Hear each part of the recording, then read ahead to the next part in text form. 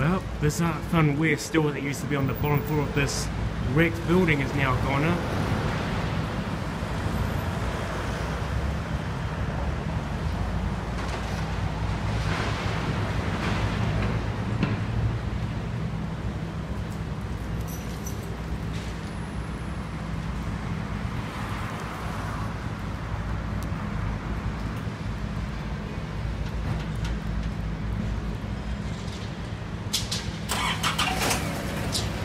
Just ignore the truck.